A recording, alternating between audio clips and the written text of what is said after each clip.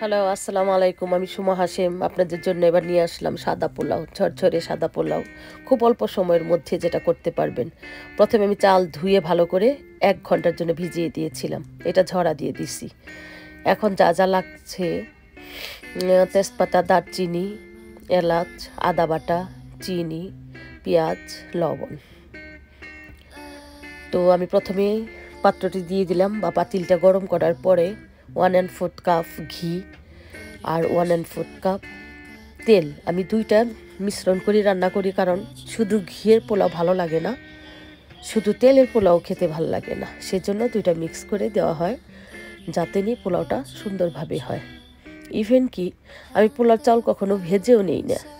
এটা আপনি করে খেয়ে দেখেন, আপনারা দেখবেন যে এটা অন্যরকম একটা টেস্ট আর এটা আমাদের পুরানটা মানে স্বাভাবিক, বেশিরভাগই এটা করা হয়। ঘিয়ের মধ্যে, তেলের মধ্যে মশলাগুলি দিয়ে দিলাম। মশলা বেশিরভাগ আপনি তেজপাতা, দারচিনি, এলাচ আর কিশমিশ কিশমিশ এটা অপশনাল দিতে পারেন, অনেকে পছন্দ করে না। এরপরে পেঁয়াজ দিয়ে দিলাম। আমার বাচ্চারা সবই খায়, তারপরও মাঝে মাঝে কিশমিশ ব্যবহার করি, মাঝে মাঝে করি না, সেটা হলো আমার ইচ্ছার উপর নির্ভর আর ইয়ে খাওয়ার উপর।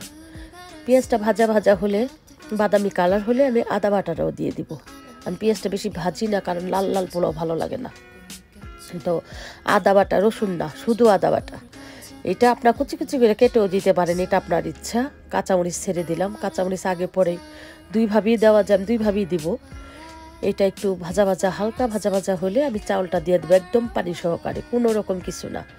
আর তার মধ্যে ঠান্ডা পানি, কোনো গরম পানি, ফোটানো পানি এইসব কিছুই লাগবে না। লবণ, চিনি, দুটোই দিয়ে দিবেন। এটা ভালো করে তারপরে একটু নাড়াচাড়া করে ঠান্ডা পানি এক কাপ দুধ লাগবে। আপনার যতটুকু, চার কাপ চাউল এখানে আমি এক কাপ দুধ দিয়ে দিছি। আপনারা ছয় কাপের মধ্যে দিতে পারেন।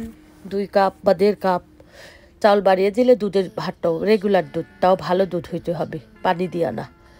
ঠান্ডা পানি, কোনো গরম পানি, ফোটানো পানি, এইসব লাগবে না। যাক, নেড়ে চেড়ে ঢাকনাটা দিয়ে বসিয়ে দিবেন। মেহমান আসার সঙ্গে সঙ্গে বসিয়ে দিলে আপনি নামিয়ে নিতে পারবেন। আগে এটা রান্না করার কোনো দরকারই নেই। গরম গরম পরিবেশন করাটা সবচেয়ে বেটার আমি হাফ টাইম একটু খুলে দিই। হাফ টাইম বলতে বা ফিফটিন টোয়েন্টি মিনিটস টোয়েন্টি মিনিটসই যথেষ্ট।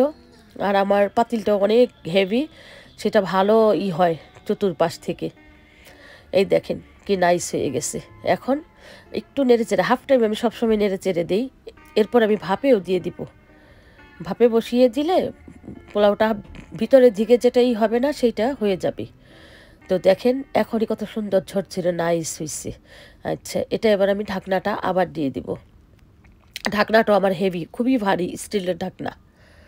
সেটা আমি ঢেকে দিয়ে তারপরে ও একটু ই আমি ঘি দেই, সবসময় লাস্টে একটু ঘি ব্যবহার করি। আমার ভালো লাগে। লাস্টে একটু ঘি মানে কাঁচা কাঁচা গন্ধটা ঘিয়ের, এরপর স্টিলের ঢাকনা আমি দিয়ে দিলাম।